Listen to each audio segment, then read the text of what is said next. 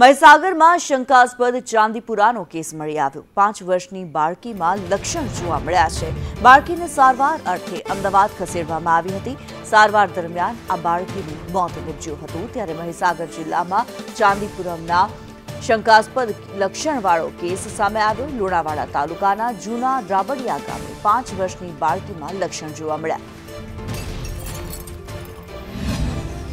તાલુકાના પ્રાથમિક ખારોલના જૂના રાબડિયા ગામે એક પાંચ વર્ષની બાળકીને ચાંદીપુરમ વાયરસના શંકાત્મક લક્ષણો જણાતા તેને અમદાવાદ સિવિલ હોસ્પિટલ ખાતે સારવાર માટે રિફર કરવામાં આવ્યા હતા. તારીખ ચૌદ સાત બે હજાર ચોવીસના રોજ એ બાળકીનું મૃત્યુ થયું છે. આ માટે સદર વિસ્તારમાં આરોગ્યની ટીમો બનાવીને ઘેર ઘેર એન્ટીલાર્વલ એક્ટિવિટી, ટેસ્ટિંગ કામગીરી, ક્લોરિનેશન કામગીરી તથા સર્વેલન્સ કામગીરી કરવામાં આવી રહી છે.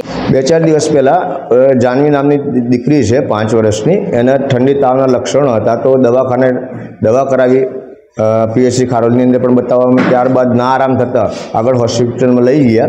ત્યાંથી પણ આરામ ન થતાં અમદાવાદ સિવિલની અંદર રિફર કરવામાં આવી. ત્યાં જતાં ત્યાંના ડૉક્ટરો દ્વારા ચેક કરતાં એમને ચાંદીપુર નામના લક્ષણોને લક્ષણો આવતા દેખાતા જિલ્લા વહીવટી તંત્રને જાણ કરવામાં આવી.